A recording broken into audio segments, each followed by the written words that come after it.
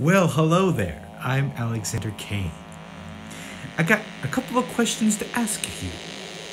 How do you feel right now? Do you feel like yourself?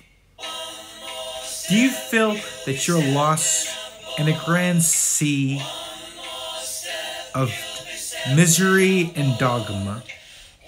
Do you feel like you're going nowhere? Well, aren't you in a good place of mind to be seeing my message?